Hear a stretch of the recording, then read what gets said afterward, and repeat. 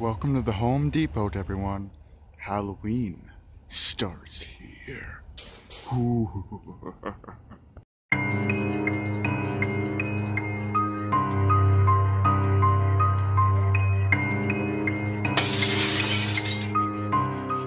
So down out front we have a cat, a ghost, a jack-o'-lantern skeleton, a pumpkin monster, a couple ghosts, and that really big ghost out in front of the Home Depot sign.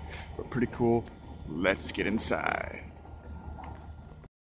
Check out this uh, little T-Rex skeleton they have in here. It's pretty cool. I just wanted to show these off. These are damn cool. I'm at home, the Home Depot, and they got this freaking baby Tyrannosaurus Rex skeleton, and they got this dragon here, similar to the one that we saw at Spirit Halloween in Abbotsford, but it's different. Whoa! Don't be knocking down my camera, dude. Pretty cool. It's looking at mouth. Mouth glows. You could probably attach a fog machine, and that would look pretty cool. But yeah, this is similar to the one they had at Spirit Halloween in Abbotsford. It just has, um, it just has a darker color palette.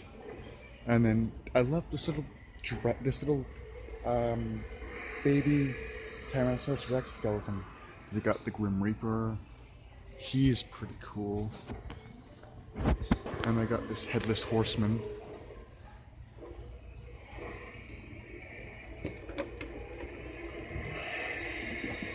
Okay, yeah, I got him working now. He's working.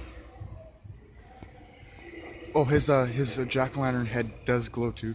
I can't get to this werewolf back here, but I'm assuming he does something too. You got this rising ghost here. He's pretty cool. You got this little pirate ship looking dude.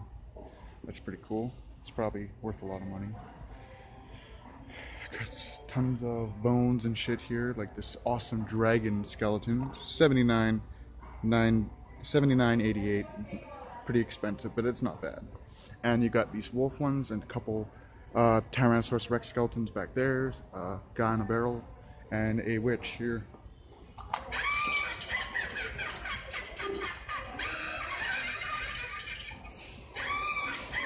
Pretty cool. And we've got this uh, fortune teller man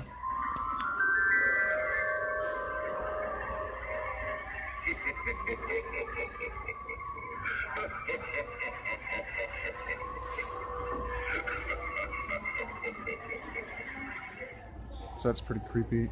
Got some skeletons and all sorts of Halloween decor, some lanterns, some jack o' lanterns, some mini animatronics. But these are pretty cool. And then all sorts of accessories, like that little gargoyle down there. Check out this baby puppy. Okay. Well, that's that's cute. But yeah, he's pretty cool. I like this globe. But yeah, that's just pretty much it for Halloween at Home Depot. Hope you guys enjoyed and happy haunts.